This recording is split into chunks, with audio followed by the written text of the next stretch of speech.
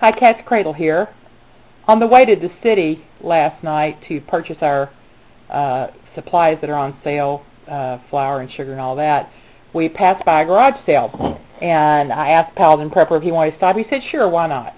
So we ran in, uh, and they had a garage full of stuff. And I found three things. I always go to garage sales just to look for prepping items. I don't ever buy anything else, uh, just things that I can prep with. And so I went in, and they had this candle holder. Uh, it looks like it's cracked, but it's not. It's made like that. It just has all this glass, this uh, cracked, crazing looking stuff on it.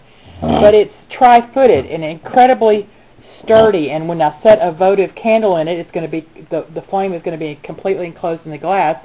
And I've mentioned to you before, I like that having a child around the house where I can put a candle in it and be completely sealed and and safe and sturdy. And I asked the lady how much she wanted for this. She said, oh, 50 cents. And I thought that sounded good. And um, so then I went around the corner, and they had these two little um, uh, graniteware, well, they're not really graniteware color, but that's what I'm going to call them, these two little graniteware cups with lids that would just be perfect to throw in your get-home bag or uh, with your camping stuff. Two of them. Just as cute as they could be. No nicks or scratches or anything on them. And I thought, you know, if you only needed to use a little, wanted to use a little bit of fuel and heat something up, then as it's boiling, you can put the lid on and then uh, extinguish your fire, and it'll continue cooking with that lid on. And I thought, those are grand. And they weren't marked. I asked her how much she wanted. She said 10 cents a piece.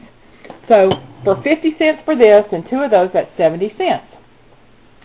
Well, after we purchased it, inside this container was some seashells. I guess they put some seashells and then put their candle on it.